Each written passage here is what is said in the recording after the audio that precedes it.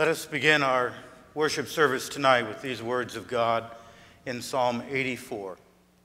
For a day in thy courts is better than a thousand. I had rather be a doorkeeper in the house of my God than to dwell in the tents of wickedness. For the Lord God is a sun and shield. The Lord will give grace and glory. No good thing will he withhold from them that walk uprightly. O Lord of hosts, blessed is the man that trusteth in thee. Let's unite our hearts together this evening in silent prayer.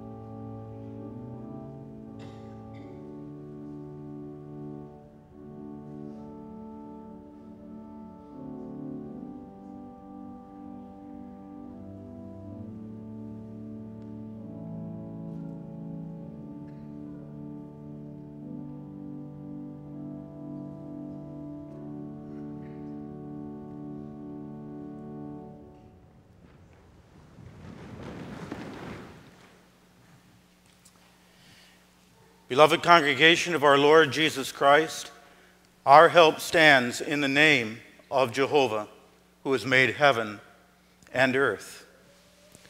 Grace, mercy, and peace be granted unto you from God our Father, through Jesus Christ our Lord, and by the operation of the Holy Spirit. Amen.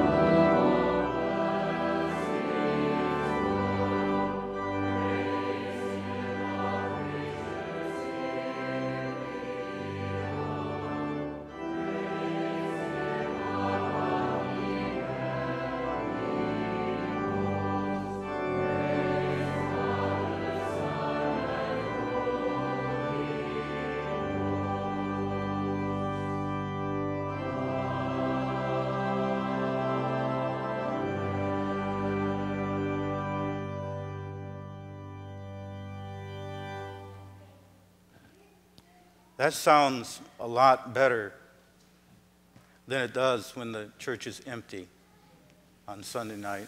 It's so very good to see each one of you. Very good to be with you by God's grace in His house. And that we can experience God confirming in our hearts what He has done. That we truly do love the house of God and His church. Let us now come before him in singing. We're going to start with number 375. The words will be up here on the wall. Number 375 is taken from Psalm 135, Invitations to Praise. And tonight we're going to sing the stanzas 1 through 3, 1, 2, and 3, and then stanza 5 Singing from the Heart, 375.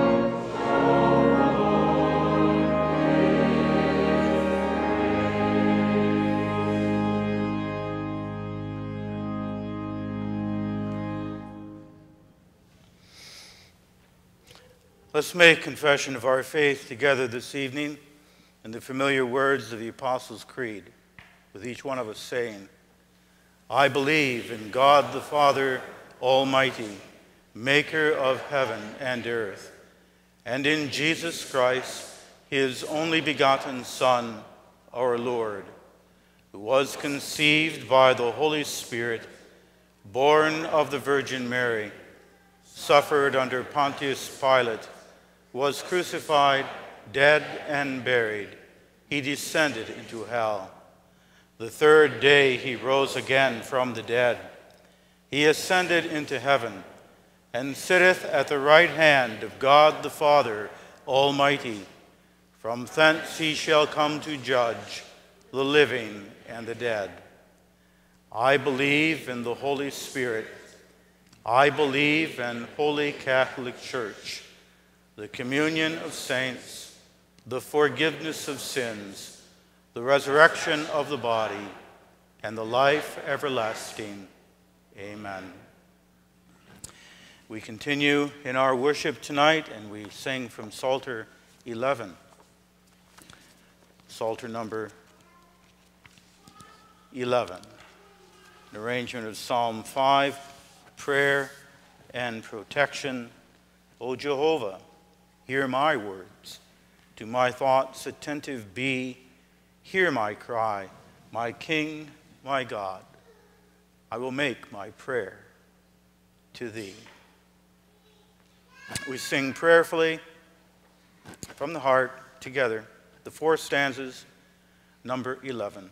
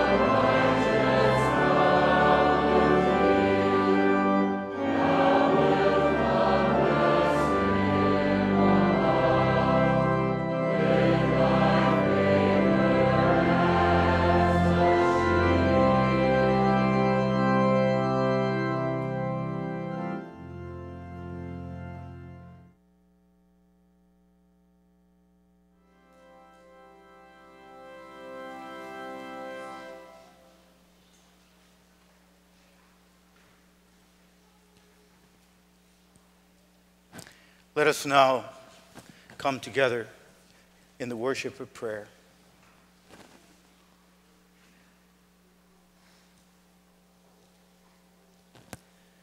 Our Father who art in heaven, with special thanksgiving in our hearts, we assemble in this place tonight.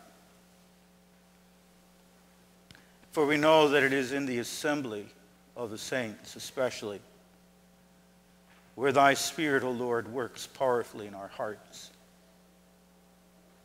We have thanked thee over the last 10 weeks when we have had many services in our own homes. And thou hast been with us as a single member, as a couple, as an aged, as a family. And we are thankful, Lord, that now we might again enter into thy house, not because of an outward faith, but because of a true heart, sincere, believing that in this way, in the communion of saints, our hearts are especially fed and nourished, and we need that. And so we are thankful that we have this privilege again given to us. We have learned. For everything is a lesson to us. Thou art our Father, the perfect teacher. We have learned through COVID 19 to esteem highly and to see the preciousness of the Church of Jesus Christ, that we are members of one body, and that our spiritual lives are woven together. And so, Heavenly Father, may we with heart sincere and with true humility and with joy, with gladness, and with thanksgiving, and in peace, may we say to each other tonight, I was glad when they said unto me, Let us go up to the house of the Lord. We pray, Heavenly Father, that in this place, this holy place, this sacred place, thou would perform thy work for heaven, molding, preparing, teaching, correcting, and opening our hearts to see,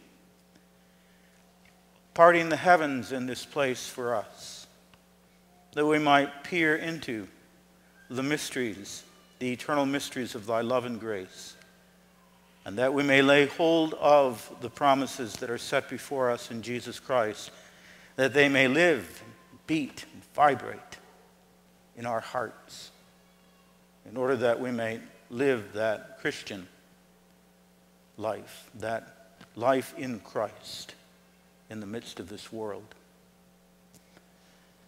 We thank thee for keeping us from this virus or giving us healing from the virus. And bless, O oh Lord, the efforts then tonight that we seek to be wise, that we seek to extend due caution against this disease which is in thy hand. But Lord, remind us that there are more deadly diseases than COVID 19 that there are viruses that, to our folly, we spread. We spread willfully with our mouth, with our thoughts. the virus, O oh Lord, so often of gossip, the virus so often of slander and cutting each other down, the temptations that we can give to each other, the ill will that we can express to one another, viruses that infect, that hurt, that seize upon the breathing, that seize upon the heart of a child of God. Make us clean from the virus of sin. It infects us. We are defenseless. Lord, give us that we might have the healing mercies of Christ in our hearts and that we may not be one who spreads that we might walk in the light, even as He is in the light. We pray, O oh Lord, for the assurance of forgiveness of our sins. We pray for strength, always that strength to do not our own will, not to follow our own desires, not to plot our own way, but to give our lives entirely into thy will and walk in a way of obedience to Jesus Christ, following after him, trusting in him to care for us. We pray that thou wilt grant that to us, each one. Remember, O Lord, the flock, comfort the Springsma family and the death of a dear grandmother and great grandmother. We thank thee, O Lord, for the memory of parents who and grandparents who have walked in the ways of the Lord. We remember Amy Undersma and Dave and their family, tonight as Amy's mother is very near to death. And we pray, Lord Jesus, wilt thou come and deliver her from the sufferings of this present time, that she may sit before thee in the realm of glory through Jesus Christ. We ask for thy blessing upon Julie Tinklenberg and recover, O Lord, of the surgery that she had this past Friday. We remember the aged, particular tonight, we think of John and Joanne Huskin. That thou be near to them in their afflictions and trials, and many, many other of the aged couples in our congregation and of our widows and widowers, that thou would draw near, that thou would comfort them, that thou would give them this good, perfect hope, building up their hope and making them productive and serving thee, even unto their end. Bless the married state among us. Keep us, Lord, in that married state in humility. Keep us in forgiveness one of another. Work in us as husbands that we may cherish our wife, even as our own body. That we may bring her up spiritually and nurture and love and care for her and see to the spiritual growth of her heart and soul Bless us as wives that we may respect, honor, build up, encourage, walk by the side of, be the dear companion, the counselor, and the trust, the one in whom our husband trusts, and forgive us of all the weaknesses and all the sins that attend us. Wash them away. Bless, O Lord, our children. We thank Thee again for our schools and for the graduates that we have. Remember, O oh Lord, our churches, our synod that will meet in a week, the installation of Pastor Matani and Hope next Sunday morning, and the call that thy servant has to the church at Kalamazoo. Bless, O oh Lord, our churches, anointing them with wisdom humility, keeping out all schism, all needless division from us. Bless our children, our little children, children in the womb. Bless the special needs children. Bless brothers and sisters that we know who are going through a very, very difficult time. And strengthen them. And now may the meditation of our hearts and may the thoughts of our minds be acceptable to Thee. May the Holy Spirit breathe upon us that we may say, not only, I was glad to go up to the house of God, but that we may exit saying, It was good. It was good for me to have been in the house of the Lord. In Jesus' name do we pray these things. Amen.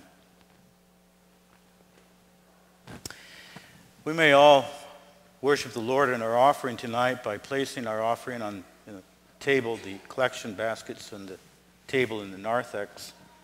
The offerings for today were for the general fund and benevolence, and then also for the beacon lights and for First Edmonton Church Building Fund. And I'd like to read these verses of Holy Scripture which speak to us concerning the heart of giving. We read in 2 Corinthians 9, verse 6 But this I say, he who sows sparingly shall reap also sparingly, and he who sows bountifully shall reap also bountifully. Every man, according as he purposes in his heart, so let him give, not grudgingly or of necessity, for the Lord loves a cheerful giver. And God is able to make all grace abound toward you, that ye, always having all sufficiency in all things, may abound unto every good work. We open our Psalters again, and we turn now to number 192. Psalter 192. A prayer of faith, and this is from Psalm 71. We, if you recall, a year ago, this was the psalm that we memorized for the uh, summer Bible memory. And this is the psalm of an aged saint of God, uh, asking for God's presence as an aged saint. We're thinking of Jacob, our series on Jacob tonight, and also his desire to instill into the family, the children coming after him, the fear of God. We're going to sing the first five stanzas, one through five of number 192.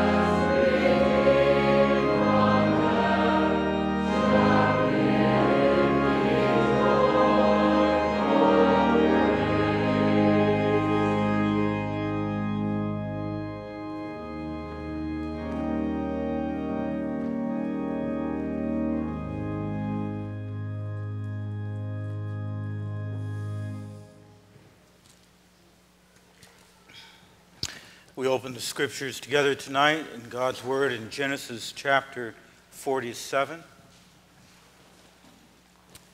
We will begin reading at verse 27. We will read through chapter 48. In chapter 48, we're going to have Jacob's prophetic blessing upon Joseph's two sons, Manasseh and Ephraim because it's such an important passage, we're going to next Sunday as well look at verses 15 and 16 of chapter 48 in more detail. Tonight we'll go over the history that we have in Genesis 47, beginning at 27 through chapter 48. Now, reading God's Word, Genesis 47 27, and Israel dwelt in the land of Egypt, in the country of Goshen, and they had possessions therein, and grew and multiplied exceedingly. And Jacob lived in the land of Egypt seventeen years. So the whole age of Jacob was an hundred forty and seven years. And the time drew nigh that Israel must die. And he called his son Joseph and said unto him, If now I have found grace in thy sight, put, I pray thee, thy hand under my thigh, and deal kindly and truly with me.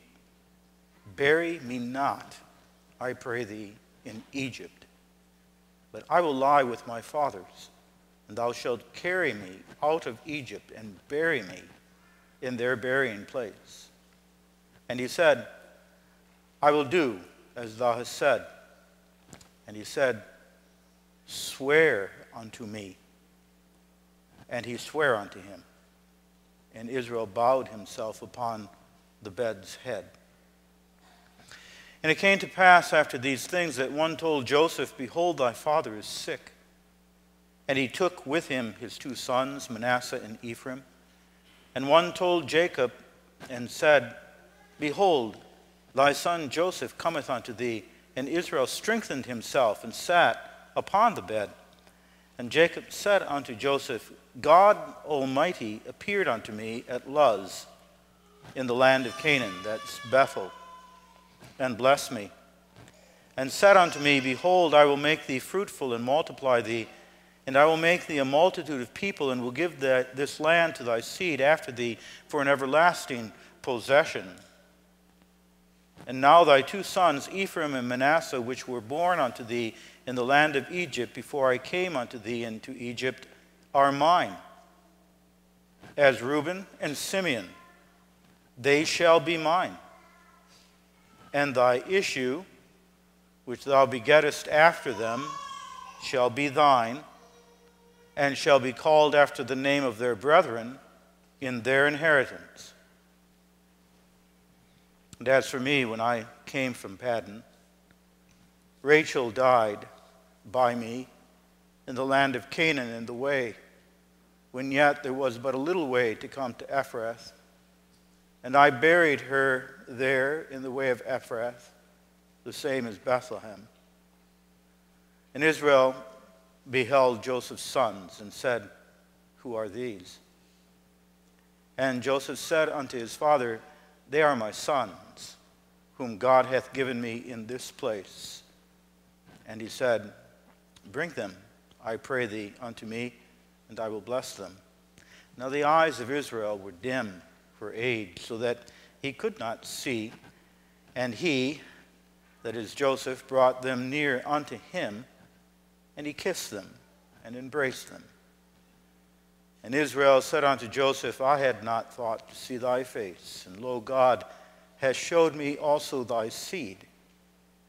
And Joseph brought them out from between his knees, so they were standing in front of him. And he bowed himself with his face to the earth, and Joseph took them both, Ephraim in his right hand, toward Israel's left hand, and Manasseh in his left hand toward Israel's right hand and brought them near unto him. And Israel stretched out his right hand and laid it upon Ephraim's head, who was the younger, and his left hand upon Manasseh's head, guiding his hands wittingly, for Manasseh was the firstborn.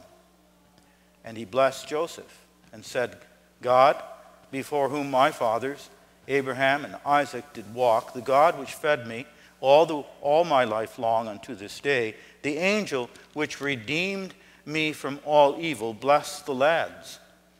And let my name be named on them, and the name of my fathers, Abraham and Isaac, and let them grow into a multitude in the midst of the earth. And when Joseph saw that his father laid his right hand upon the head of Ephraim, it displeased him.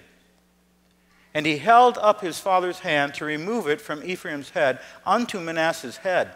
And Joseph said unto his father, Not so, my father, for this is the firstborn. Put thy right hand upon his head. And his father refused and said, I know it, my son, I know it. He also shall become a people, and he also shall be great, but truly his younger brother shall be greater than he, and his seed shall become a multitude of nations. And he blessed them that day, saying, In thee shall Israel bless, saying, God make thee as Ephraim and as Manasseh. And he set Ephraim before Manasseh. And Israel said unto Joseph, Behold, I die, but God shall be with you and bring you again unto the land of your fathers. Moreover, I have given to thee one portion above thy brethren, which I took out of the hand of the Amorite with my sword and my bow. May God sanctify these scriptures tonight to our hearts.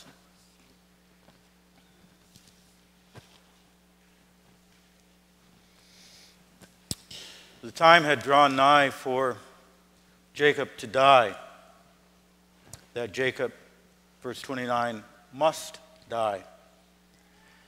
Not only does that mean that his body, 147 years old, was now worn, but it means that the time that God had appointed for each one of our death and for his death had now come. The time in which God had worked upon him to prepare him for his eternal reward. Two things come to the mind of Jacob when he thinks about death. The first is his burial. Where will he be buried? The second is his family. He must complete his work for his family. In both of these tonight, we see that he is called Israel, for he will act like Israel. Israel means prince with God. And he will not act as the Jacob of old, with manipulation, with trying to connive and arrange things, but he will act in trust. He will be submissive. He will do the will of God as God works it through him. For Jacob is even a prophet that he must prophesy concerning these two sons of Joseph. He will die in true faith. He will die by God's grace as prince with God, as Israel. The chapter this evening opens with God's rich blessing upon Jacob in verse 27 of chapter 47. And this should not surprise us. We read, And Israel dwelt in the land of Egypt, and he multiplied exceedingly, abundantly. It does not surprise us because we have seen that throughout his life, even when Jacob was not walking in the way of God's will, that nevertheless God caused him to multiply.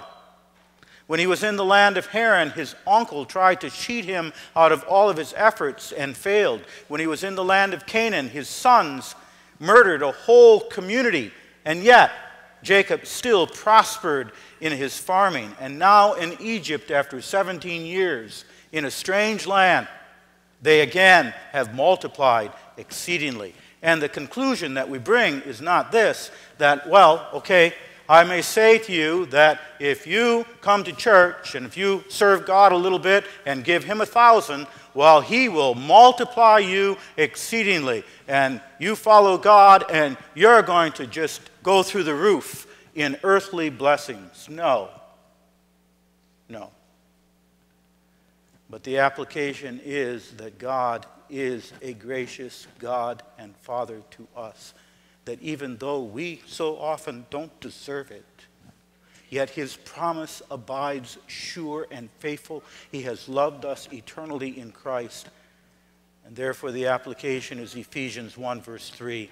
Blessed be the God and Father of our Lord Jesus Christ, who hath blessed us with all spiritual blessings in heavenly places in Christ Jesus.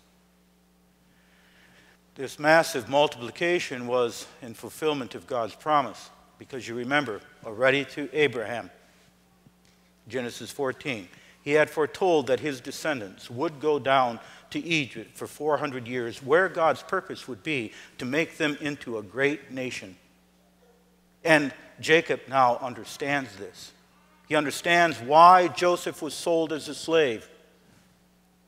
His generations might now multiply in the land of Egypt, that God would use the world for the church. He understands that his multiplication, the blessings that he is being bestowed, is not due to the expertise that he had gained as a shepherd. It was not due to his DNA that he was particularly a fertile DNA with many sons, but it was God's promise. But now he must prepare for death. 17 years have quickly slipped away. When he came at the age of 130, you will recall, when he stood before Pharaoh, he did not expect to live much longer. Before Pharaoh, we get the impression that he thought he was very close, but God gave him 17 more years. We don't know when we are going to die. We get near the age of retirement and we say, another 15 or 20 years. And sometimes that doesn't happen. At the age of 60, 50, dementia may come.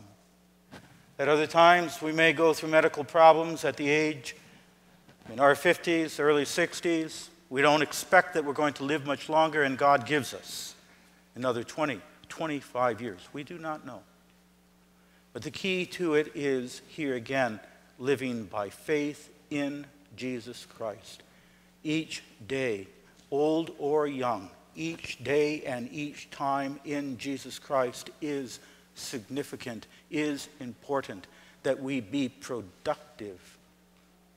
Matter our age, that we be productive in the service of our God. Jacob will be productive in the service of his God. May you and I be productive. May we face death, face life as Israel in faith, trust in God. I call your attention then to Israel faces death his burial request, and then his deliberate blessing. As is often the case with an old person, there was something on Jacob's mind. And he wanted to talk to his son that he trusted about it. What was on his mind was the place of his burial. He calls Joseph to him to have Joseph promise to him that when he dies, his body will be carried out of the land of Egypt back to the land of Canaan. I would have you note with me, this is edifying for all of us, but it's edifying especially for parents, that his request to his son came in the form of an entreaty. That it was not simply a command that he issued to his son but that is an entreaty unto his son's heart and soul. This is something that he realizes after he dies he has no power to see that it will ever happen.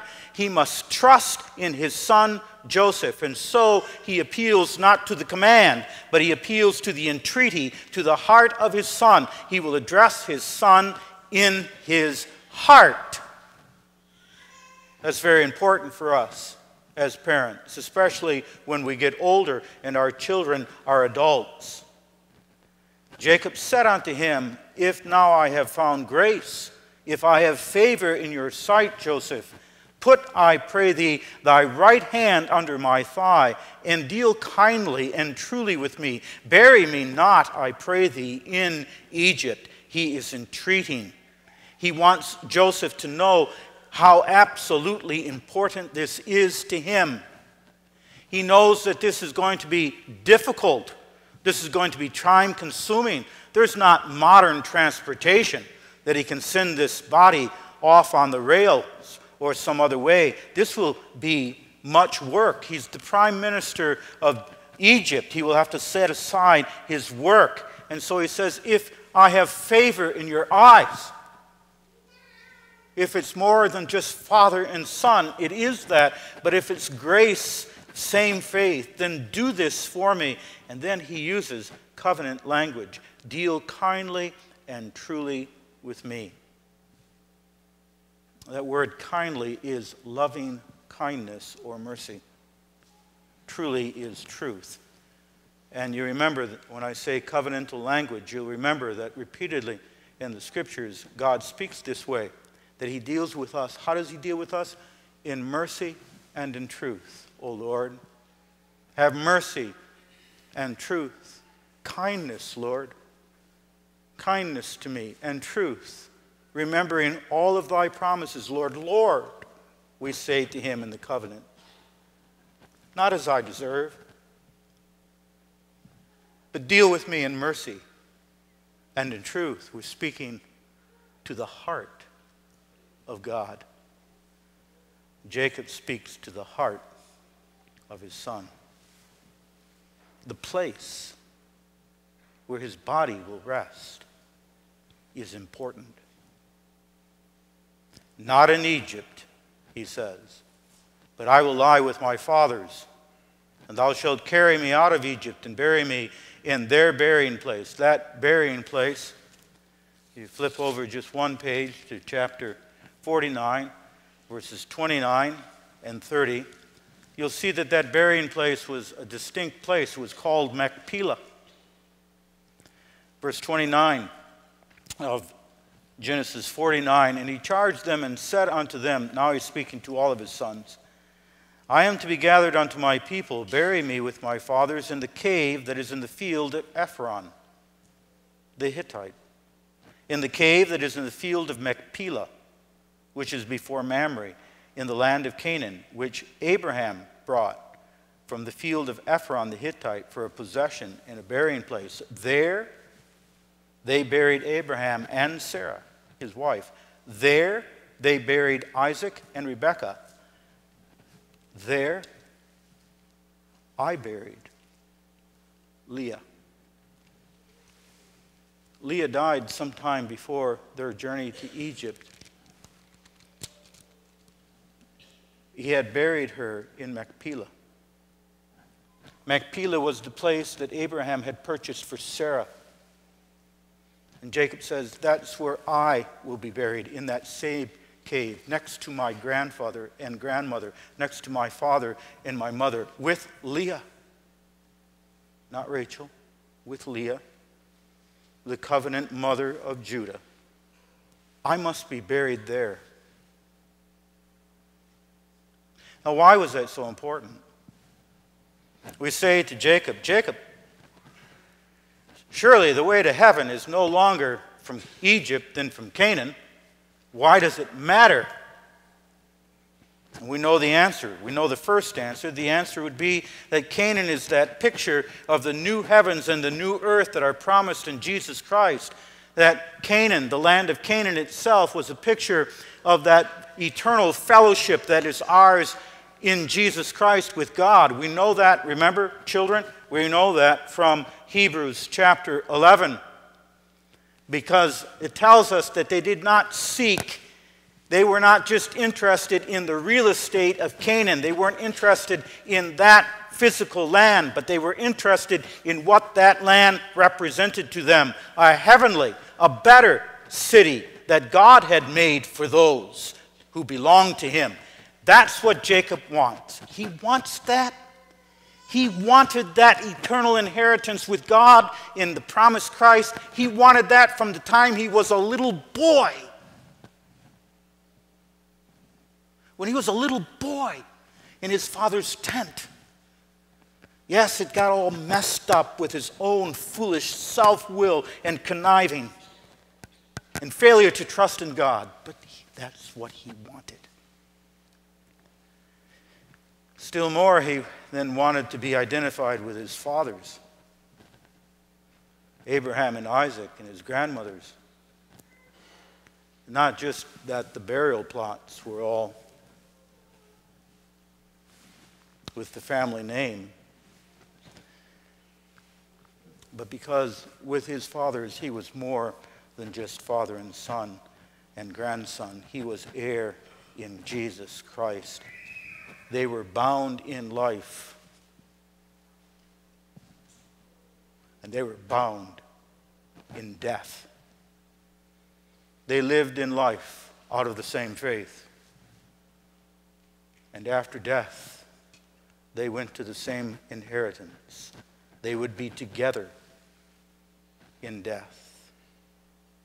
Their bodies would be raised together. The same is true of us. We bury. We bury our bodies of our loved ones in the hope of the resurrection of Jesus Christ. Not because God needs a buried body or he can't rise it, raise it. No. We do that in our confession. We were one in life. We shall be one in Christ. And on that day, we shall be raised together.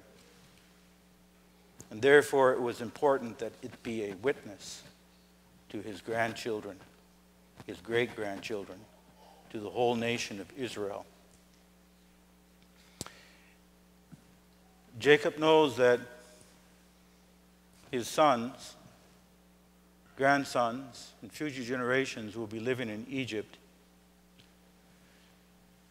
And he wants his burying place to be a message to them, a testimony that they don't belong in Egypt, that God is going to come take them out, that this prosperity that they were enjoying in Egypt, that they must not get lost in prosperity that his sons must not now think, or his grandsons must not now think, we're doing good in Egypt. This world is a pretty good place. But he wanted them to know that this world, no matter its prosperity that we might enjoy for a season, is not our home. This is not where we belong. We are pressing on to another place, that sure place, that heavenly abode. He wanted to speak to his sons and family to come. He wanted to witness. We witness to our children, our grandchildren, in how we are buried, in how we are buried and how we make those arrangements. We are witnessing to them. not only of where we belong with God, but of where they must press and where they must go. This was very important to Joseph, so he made his son swear an oath. And he said to Joseph, Swear to me make an oath. And he swore to him. Now, why would Jacob do that? Why would he go to the extremes that he does for this oath? Because after all, this is Joseph. This is his, I'm going to say, very trustworthy.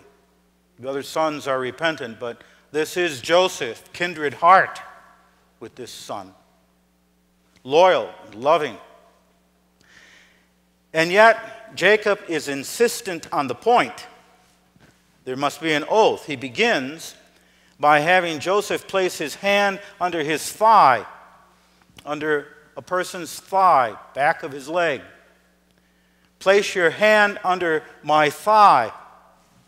And if you remember in your Bible, this was exactly what Abraham, Genesis 24, verse 2, when he sends his trusted servant Eliezer to the land of Haran to get a wife for Isaac.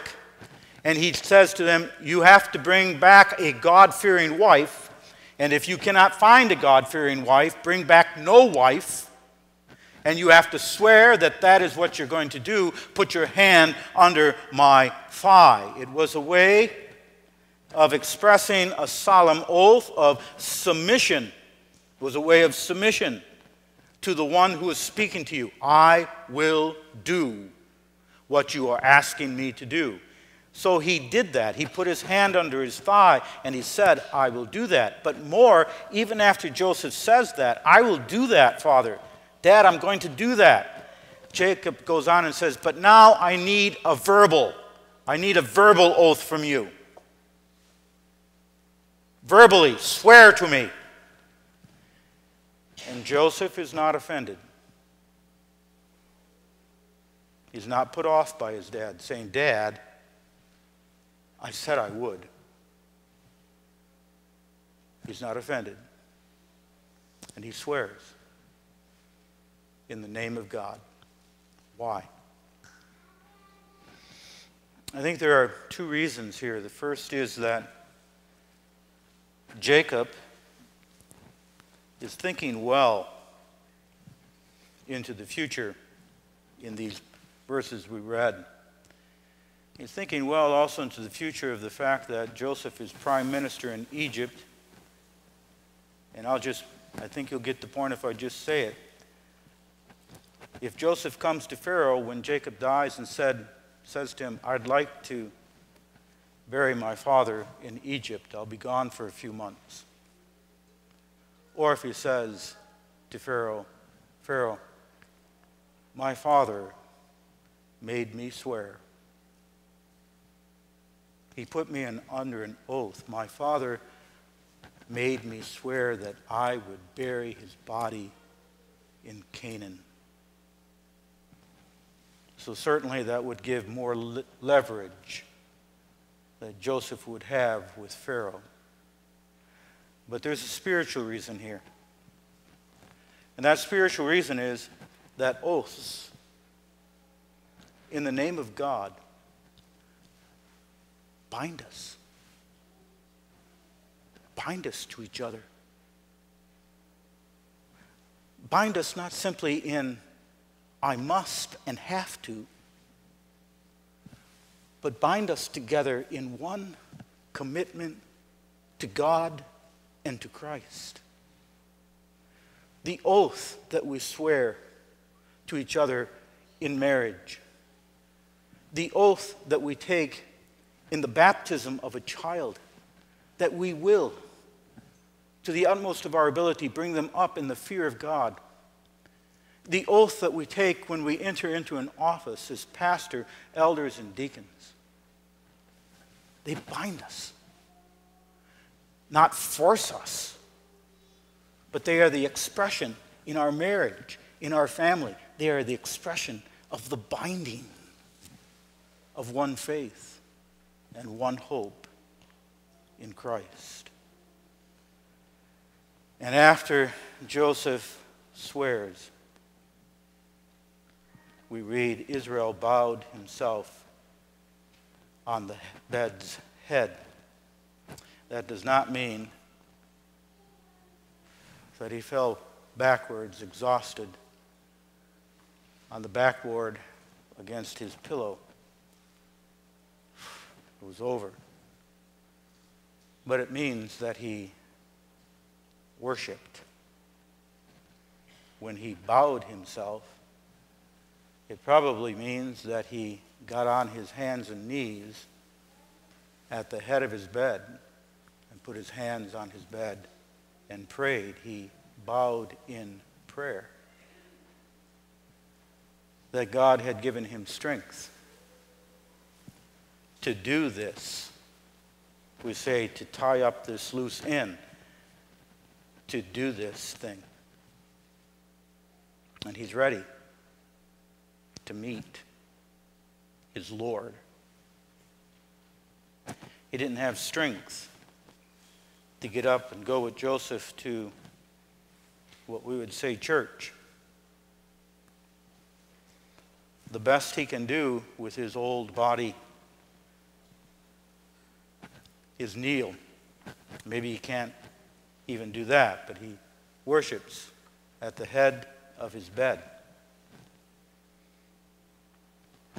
Sometimes, we get old if we go down on our knees.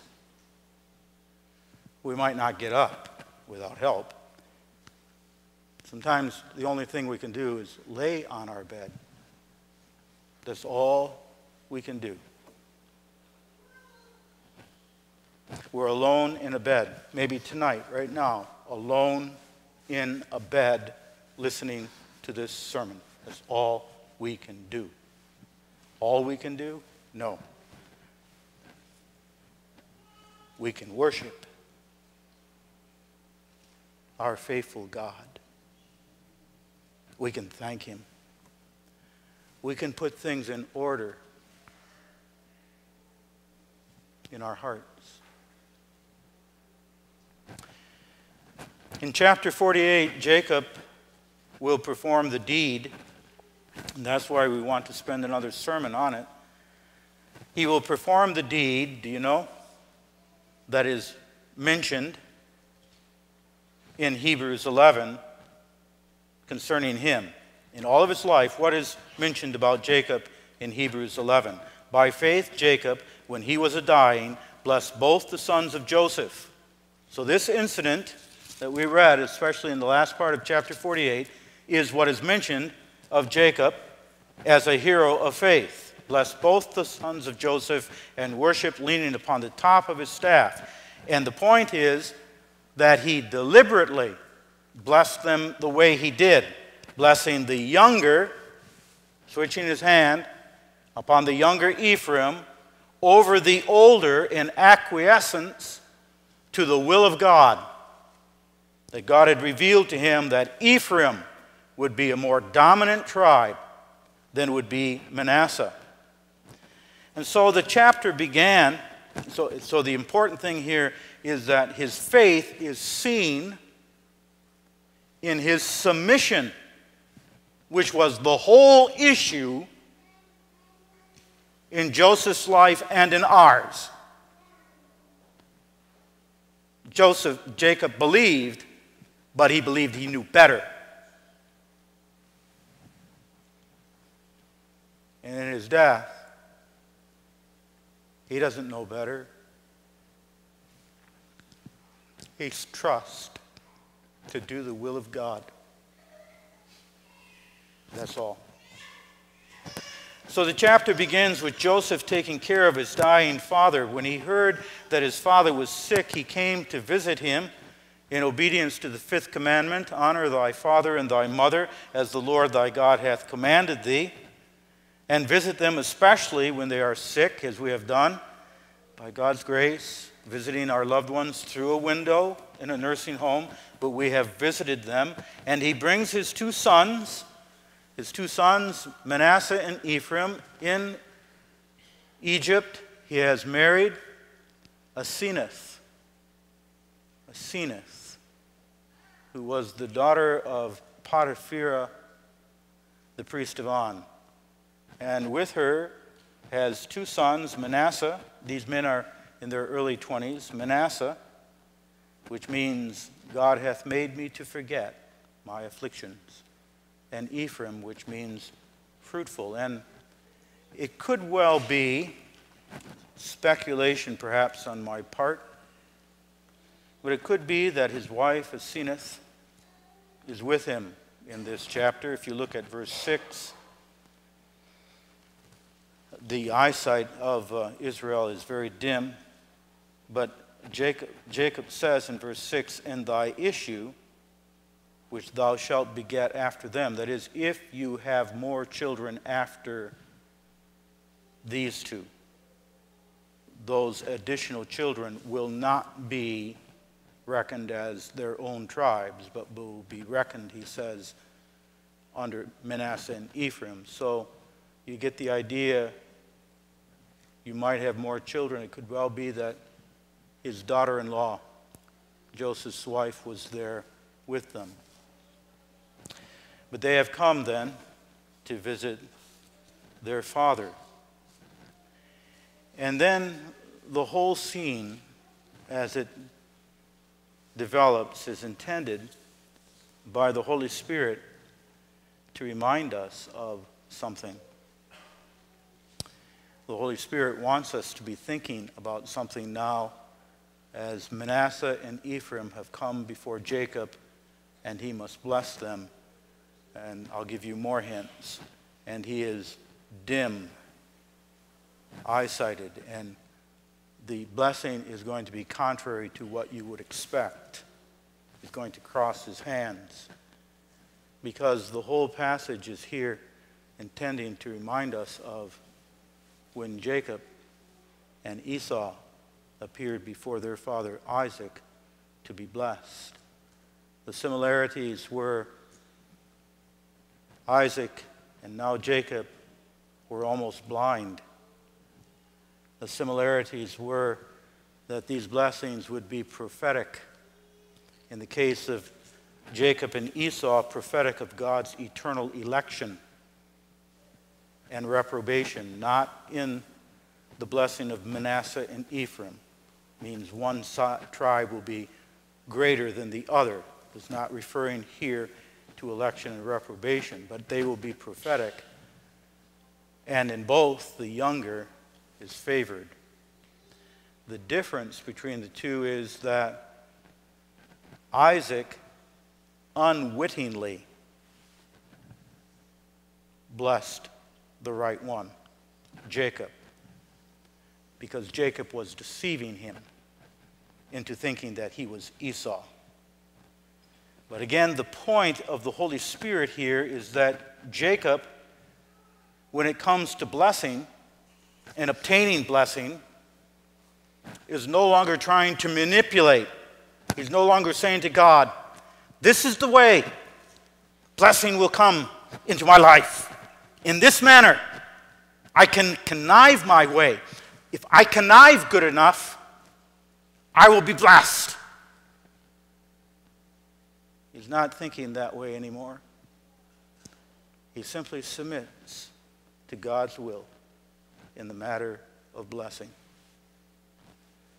And so, as he's going to bless these two sons, his mind has to go back. His mind has to go back to that day when, with the help of his mother, he deceived his father into giving him the birthright blessing. And he must be thinking, God is sovereign in blessing. God is sovereign. He is supreme. He is not only sovereign in election and reprobation of who will be saved, but he's also sovereign, in here, Manasseh and Ephraim, in bestowing gifts and abilities and place. For the younger will be more gifted than the older and have a larger place in the service of God than the older. He must be thinking, when it comes to blessing, of children. God is sovereign. When it comes to blessing in our life, God is sovereign. And he must be thinking, I'm just, as I've been saying, he's going to trust God to bestow this blessing. He must be thinking, this is the way it should have been in my life.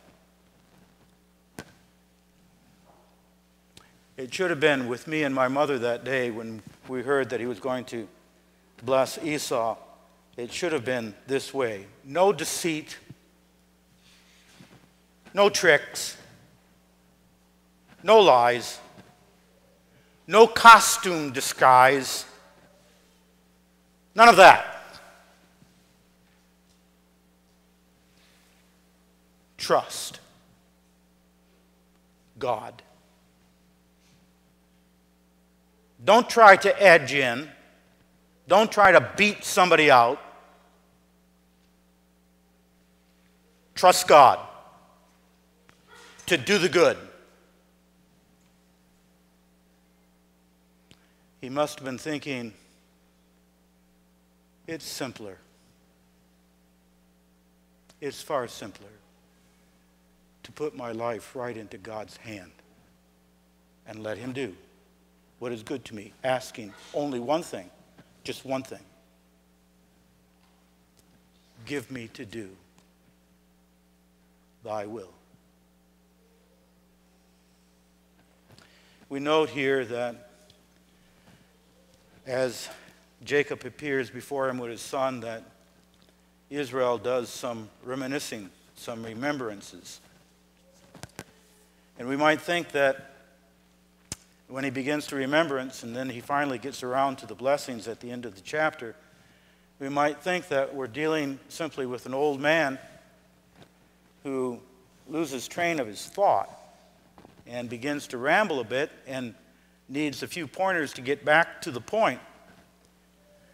But then our thinking would be wrong. He is not rambling. He does bring up a number of things that are very important. There are a lot of things on his heart. He's lived a very full life. He has experienced God's forgiving grace time after time. And so he brings up in verse 16 the angel of the Lord, Jesus Christ, who watched over his life every step of his way. In his thinking, he goes back to Bethel with the ladder of promise verses 3 and 4, when God appeared to him at the top of the ladder, assuring him that he would give him the promise of the land of Egypt and the promise, uh, not of the land of Egypt, of Canaan, and the promise of the seed, Jesus Christ. He thinks about Rachel at this moment, who died shortly after he had returned to the land of Canaan when she gave birth to Benjamin, and of how she had wanted to have more children. He thinks of different incidents in his life that he, the scripture don't mention to us at all. The last verse, verse 22, he thinks of the time that he fought with his sword and with his bow to take back property that he had paid for and that the Amorites had taken away from him and that he wants Joseph to have. He thinks of Joseph. When Joseph draws near, he says to him, I had never thought I would see you alive again. But this is not rambling. This is not loose thoughts. This is not dementia. This is not Parkinson's. This is not a man who can't get to the point. This is one speech. It's the speech that we want to give when we come to die. It's the speech of God's grace over all of my life. And now I see it. Now I see it in every detail. It was God's faithful grace. Do you see that? It's no rambling account, but it's God's grace running through anguish running through fear, running through frustration, running through death and sorrow. It was always all about God's grace to him that never left him. And so that leads him to the final act in the plan of God. he must bless these two sons of Joseph. And the final act or deed in the will of God has to do with the constitution of the Old Testament church into the 12 tribes of Israel. And he will see to that now as a prophet, because at this meeting, when his sons, Joseph's sons, come to him, he says to Joseph at the get go, when they come, those two boys of yours, your two sons, will be as my own. They will be like Reuben, my firstborn, and Simeon, my secondborn, Manasseh and Ephraim. He says, already then, he says, Ephraim and Manasseh. He puts them in that order. They shall be their own tribe. As I said, he says to them, If you have more issue, if you have more children with your wife, they will not receive their own tribes. They will be assumed under Manasseh and Ephraim, but there shall be these two tribes from you, Joseph, in Israel. So you say, but then, Reverend, that's not 12 tribes, that's 13 tribes. And that's correct. Because it's going to be the will of God through Moses that the tribe of Levi will not be a tribe that receives a physical inheritance in Canaan, but will become the tribe of the priests. So that the will of God for the constitution of his people on earth must be fulfilled. And not only that, he's not rambling, because after he speaks of the fact that these two boys shall be mine, they shall be reckoned as one of my sons, with full inheritance of my sons. After he's done talking, he says that, he talks about Rachel, who died and who wanted more sons. And she shall have another. There shall be three of my sons. There shall be Benjamin and Joseph will now count for two. And God's eyes are watching over it. And he not only claims them, but he blesses them. Joseph, as we read, brings them forward. And he lines them up intentionally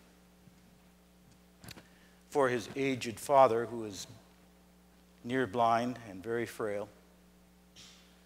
He lines them up intentionally by putting Joseph, putting Manasseh on his left and Ephraim on his right, so that when they appear to Jacob, Manasseh will come to Jacob's right, and Ephraim, the younger, will come to Jacob's left. So if Jacob just puts out his hands, his right hand will fall upon Manasseh, and his left hand upon Ephraim. And he brings the boys forward, and he bows his head. He bows his head not to see that Jacob wittingly though he is dim, led of God, crosses his hands and puts his right hand on the younger Ephraim and his left hand on the older Manasseh. And under that posture speaks the blessing that we'll look at next time of verses 15 and 16. He speaks the blessing. And near the end of this, Joseph looks up and he sees what his father has done. And we have a very strange thing here that now J- Joseph reacts instantly, and Joseph is not ready to acquiesce to this. No, no, now Joseph thinks this is wrong. He believes that his father somehow is confused. He's a confused old man. He needs help. And he's, he reaches forth and he says, Not so, my father, not so. It's as if he puts his hand on his wrist and he wants to put the hands back to where he believes, where he believes the blessing ought to be. And Jacob says to him, I know it, my son. I know it. I know what I'm doing. You want me to bless Manasseh first. He shall become a, a tribe. But my right hand must go upon Ephraim, for he shall become a great tribe, a multitude of people, which is true. The tribe of Ephraim, next to Judah, becomes the most dominant tribe among the 12 tribes. Ephraim Joshua will come from Ephraim. I know it, my son. I know it. This is God's will. He acts like Israel, prince with God. You see him? 147 years learning one lesson but the lesson is in his heart. Submit to God in trust and faith. Submit to him in death that he will take care of you. That the hope that you have in him will not be lost. Submit to him and the blessings that he shows upon you and your family. Submit to his will.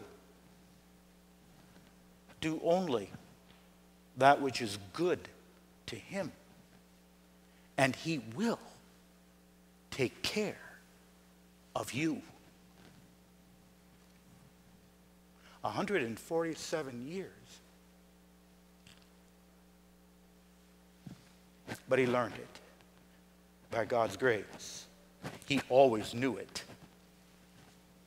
He submits to it as an old man. And yet, he's alive in faith, in hope, and in love.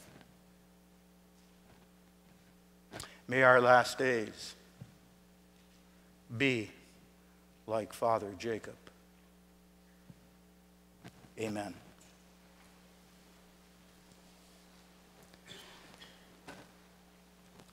We thank thee, Heavenly Father, for thy word. We pray that the Holy Spirit may bind that word to our hearts and teach us out of the Holy Scriptures tonight. Receive again our praise that we could be here in such good number and continue to guide and keep us as a congregation. In Jesus' name, amen. Number 204 in our Psalter.